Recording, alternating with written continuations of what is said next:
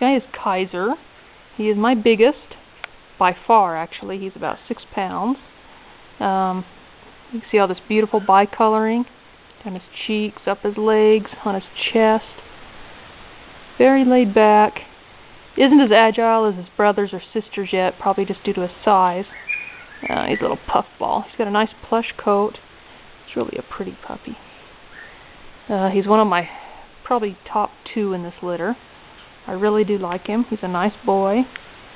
Going to mature a very, very good size.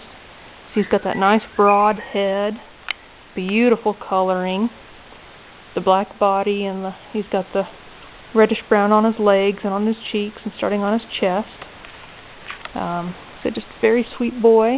Yes, you are. Very sweet boy. Mm-hmm. And he will be ready on January 12th. Yes, huh, sweetie?